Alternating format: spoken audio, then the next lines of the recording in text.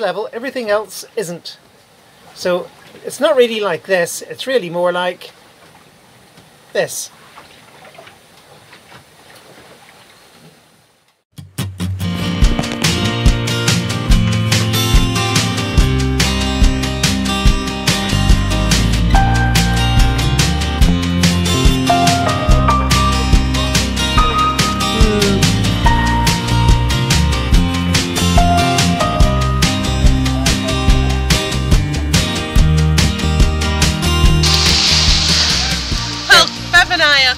In Lamlash, and uh, I'd love to say that it's wonderfully and sunny and not lashing it down.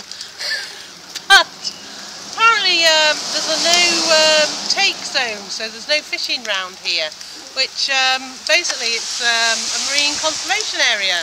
And I think that's a great idea. Anything to uh, increase um, our sea's diversity is a good idea in our books. We were definitely not seeing Lamlash at its best. On a sunny day, it must look glorious, but this was not that day.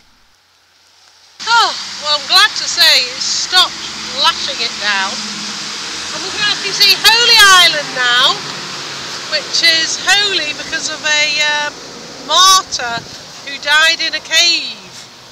Um, we've also got a, um, a marine preservation area here, and um, we can actually see a bit further than um, earlier, because earlier we couldn't see much at all, but we can at least see Holy Island now. Oh, and they have brilliant ice cream.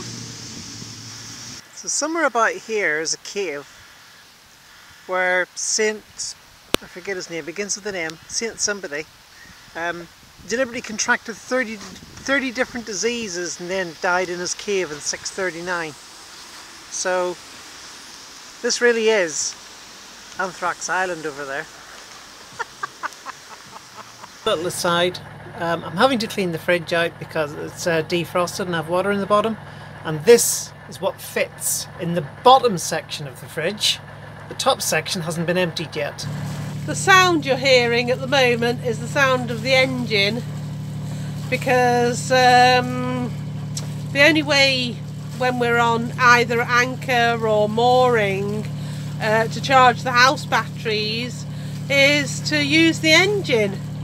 If we're going to live on Salty Lass, which we are doing, um, you know, and continue to live on Salty Lass, that has got to change. While Beverly's uh, preparing uh, food, I'm going to be doing, um, uh, I'm going to be putting the dry mat down.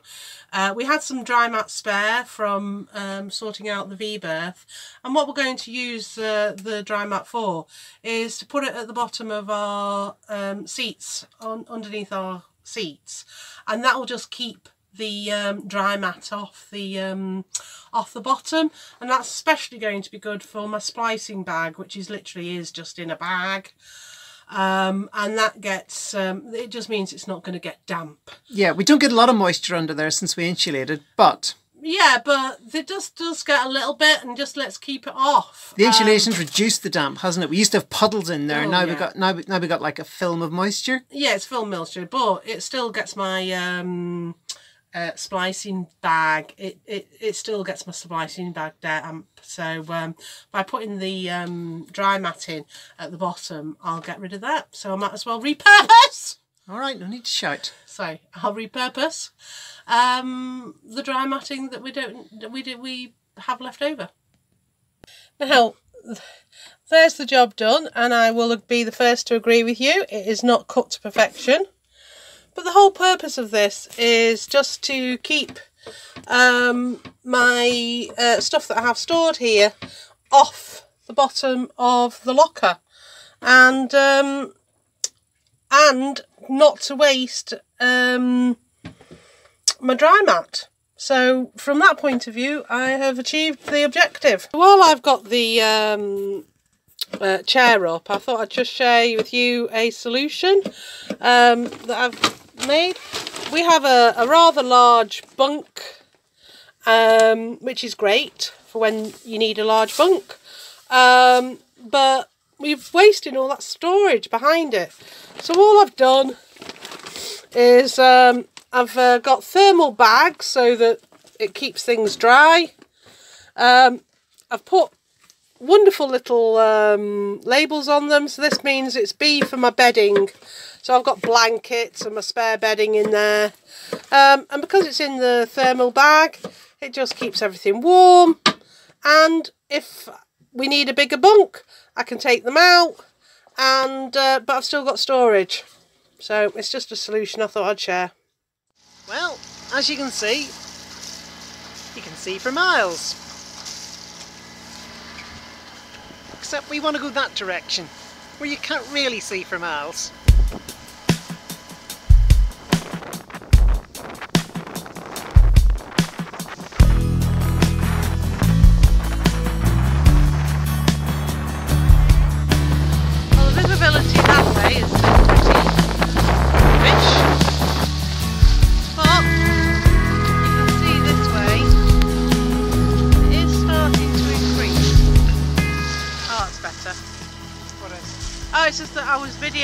And all I could see was dots, but that's because um,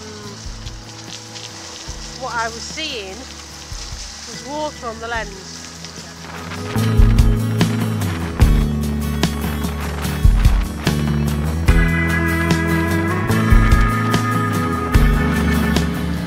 So plan B is to, when we get to about here, we'll call Campbelltown on the radio and ask them about conditions. And if conditions are pretty terrible when we're about here, we'll simply turn round and come back in through this and go back onto the mooring ball. It'll be a bit of a trip out, but at least we have a backup plan. Always have a backup plan. Very difficult to judge if you can see the the sea state. Whereas, yeah, definitely some um, choppy waves and stuff. Once we turned west, we were able to go close hauled at last.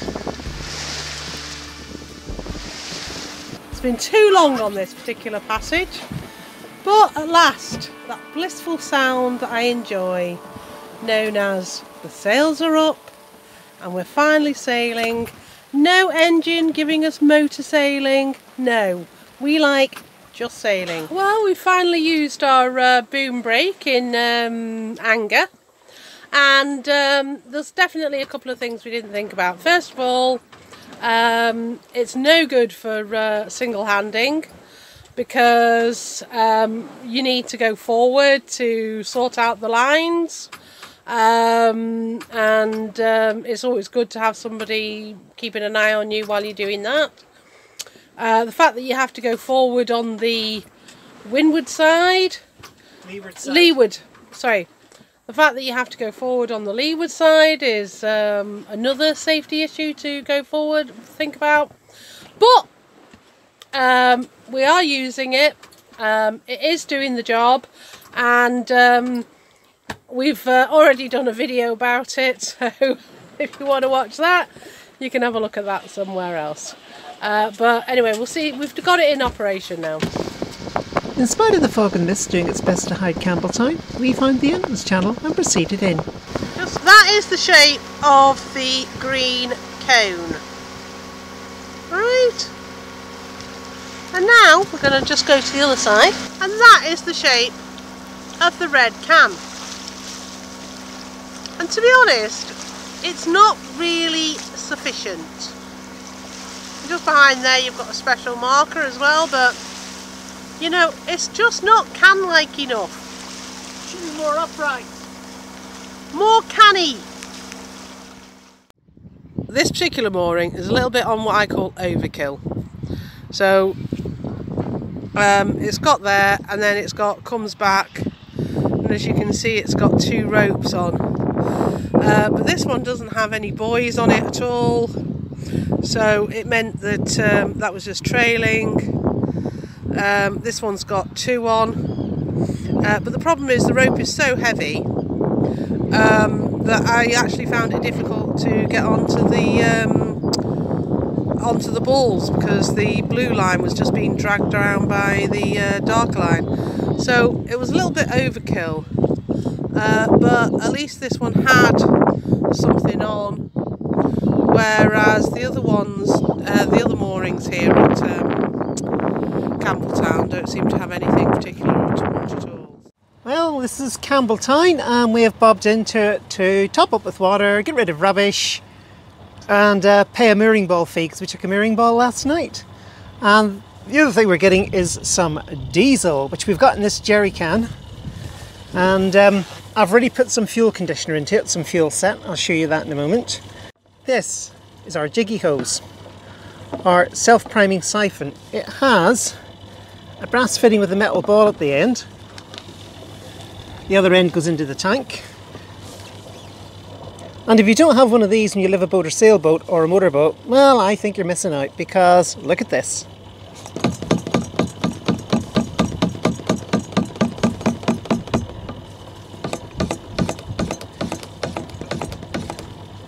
And off it goes. Ah, doesn't that look a quaint little picture house? But this is all I can show you of Campbelltown because I'm afraid to say I'm on a mission and I'm afraid mission is to cross to Ireland. Well, I finished my cup of tea and the job is done. All I've got to do now is take this end out, put a rag round the end of it and lift it up and I won't spill a drop. I can then coil all this away and wait for next time. And this goes back in storage under the V-berth.